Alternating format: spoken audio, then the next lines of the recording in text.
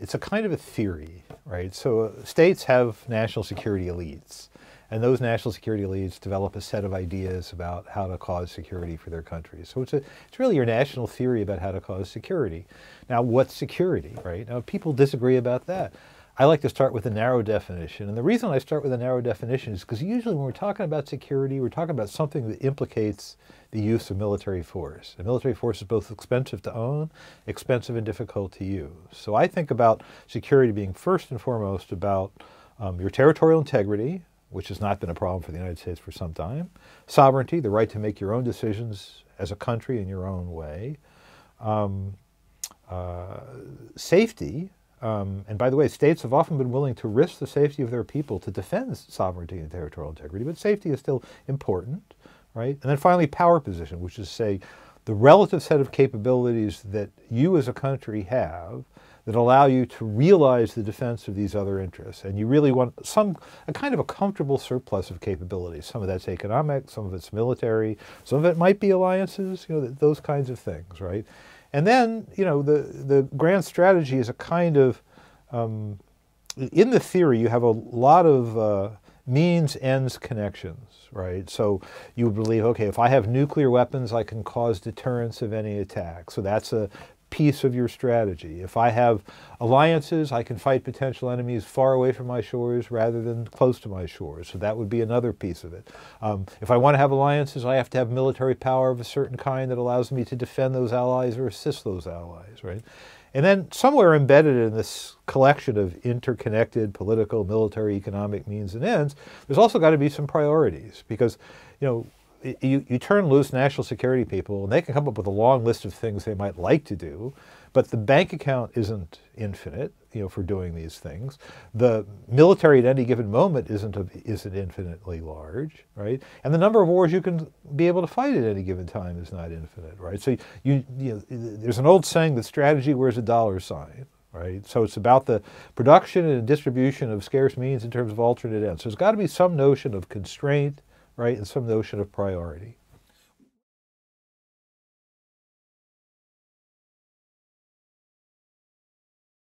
You, you like to avoid, uh, um, you know, uh, romanticizing any given period, um, but I think most people agree that um, that during our competition with the Soviet Union, we had uh, uh, uh we, we had a grand strategy that um, that had a significant degree of agreement. There were disagreements within the grand strategy, and there always can be about sort of its dimensions. But in, in terms of the core, I think there was quite a lot of agreement. The, the agreement was um, the Soviet Union was a was a potential threat to become a hegemon on the Eurasian landmass.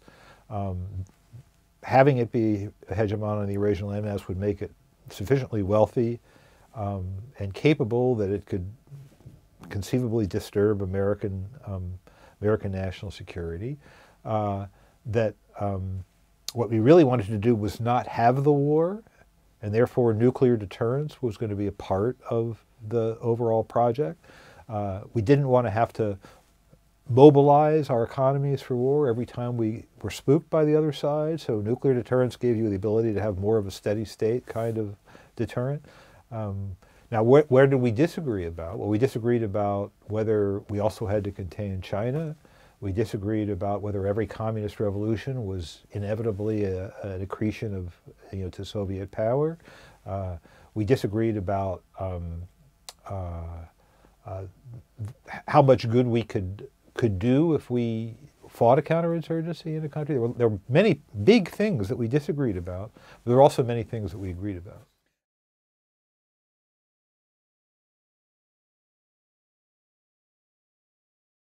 It's much more focused on U.S. national security narrowly defined.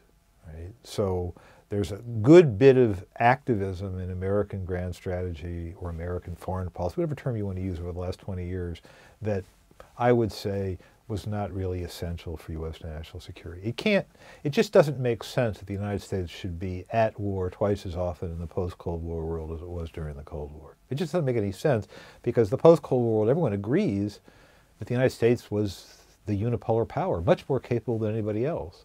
So how can it be so insecure that it needs to be at war all the time? Well, it's because we had projects. People had projects. So one project, we had a project in the Balkans. What was that project about, right? How, you know, how much did that matter to American national security? Um, we tried to use military force to deliver humanitarian assistance in Somalia. To be honest, I even supported it, right? It seemed reasonable to me at the time, but I underestimated even the problems and costs of trying to do that. So that was a, you know, something we added. NATO expansion, right? Did we really have to add so many countries to the North Atlantic Treaty Organization? Doesn't mean we had to throw them under a bus, but did we have to take responsibility for defending those countries? People forget, right? You know, we took on the responsibility after the Cold War of defending a whole bunch of other countries, right? Um, including countries that are hard to defend. It doesn't, that doesn't absolve us of the, of, of the commitments we made. But the three Baltic states, if you just look at them, they're very small. Their geography is very unfavorable to defense. They're far away from, you know, relatively, from the core of NATO's military power. But they're in NATO. We, are obliged. As if, if, you know, I don't think this is going to happen. I don't want it to happen. But if the Russians, for some reason, decided they really wanted to threaten the place, it would be a challenge for us to defend it. Not impossible, you know, we have a lot of capability, but certainly a challenge. This challenge was never discussed when you know the decision was made to to to to expand and to take on this problem, right? So so the and then we moved to sort of the response to 9/11, and the way we did the response, you know, I favored you know invading Afghanistan. I didn't see any any any choice, but my reasons for invading it were different from what emerged, right? I thought the Taliban regime needed to be punished and Al Qaeda needed to be pursued wherever it lived. But somewhere along that way, we decided that we were going to rebuild Afghanistan into some new kind of country. That, to me, I thought was a bridge too far even when it came up. And then, it, well before any of that project was finished, to take on yet another project, completely elective, invading Iraq and then trying to reorganize that polity and that, that government according to our own lights. Again, you know, too quick a resort to force, too little understanding of, of what your, your strategy small s would be for producing happy endings. This is all part of the, the energy of the, of, the, of the consensus grand strategy, which I call liberal hegemony.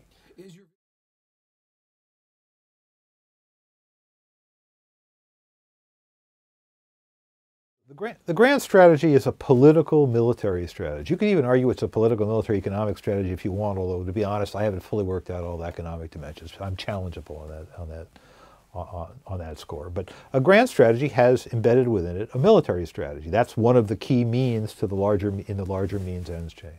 So the question is, what kind of military strategy am I suggesting? Is it revolutionary in some sense? It's not really revolutionary. The United States had a sea power strategy long before um, you know, the First World War, right? The United States was building up its Navy, trying to be able to influence things abroad if it wanted to, right?